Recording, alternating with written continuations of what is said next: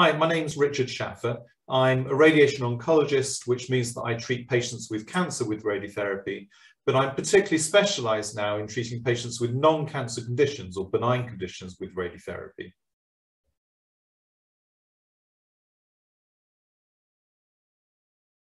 So radiotherapy um, is used in various benign conditions quite effectively.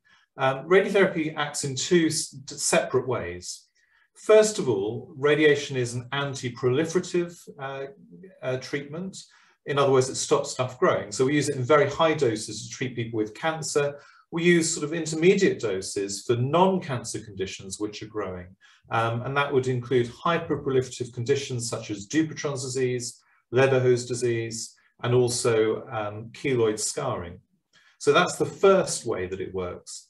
The second way that it works is an, as an anti-inflammatory treatment. So there are various degenerative conditions, including arthritis, osteoarthritis as various joints, um, enthesopathies, so in other words, um, inflammation of the insertion of tendons and ligaments into joints, uh, such as heel pain, and also tendinopathies, so problems with tendons, such as in the elbow or the shoulder. And, and there, as I say, it works as an anti-inflammatory. We use very, very low doses of radiation uh, as an anti-inflammatory treatment. In terms of the effectiveness, that really depends what part of the body and what sort of condition you're treating.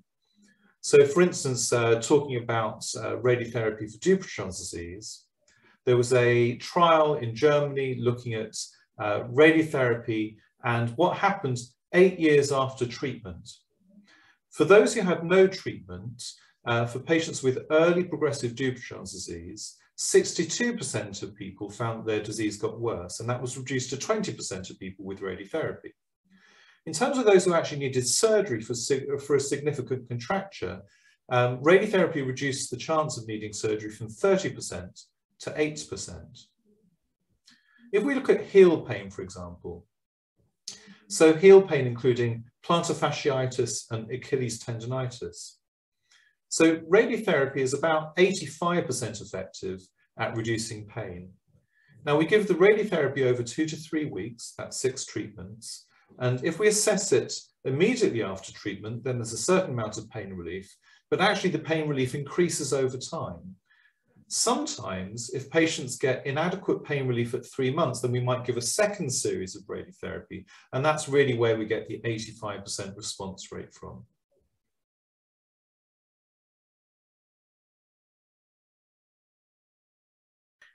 So a typical radiotherapy treatment does depend on what sort of treatment you're having.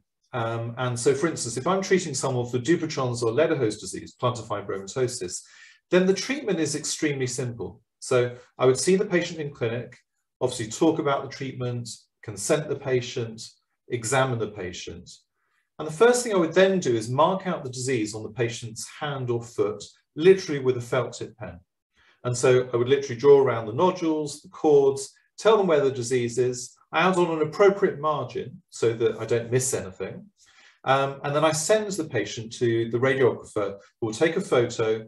They'll then make um, a tracing and that makes a shape template so that we treat the right bit each day. Normally the treatment would start roughly a couple of weeks after the markup appointment.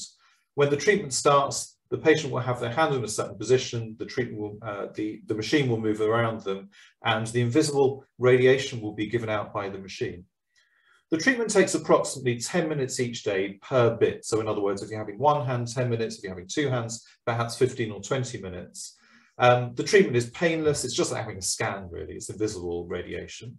Um, for a hand or foot, we would tend to use five treatments in a row, so Monday to Friday. So that's one week of treatment. There would then be a gap of around three months and then a further five days of treatment. So two weeks with three months in between. Um, and that would be the treatment course. Now, if we move on to heel pain, so plantar fasciitis, Achilles tendonitis, and arthritis type issues, then actually the treatment is given as a, a, much lower dose. So remember, it's three to six gray dose, which is very, very tiny. But in fact, it's given in a slightly different way.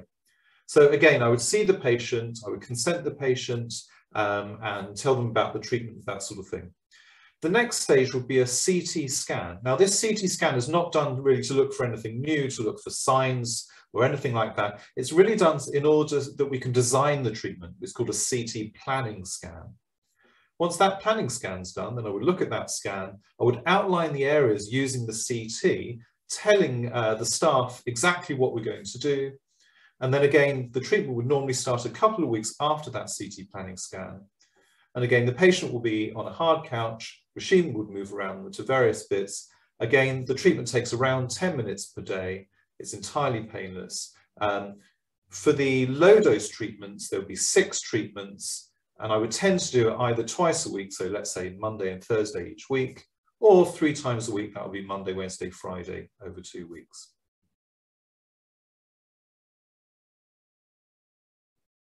So in line with all other treatments, radiotherapy does have some risks involved. Um, and the risks are associated with two things. First of all, the area that you're treating.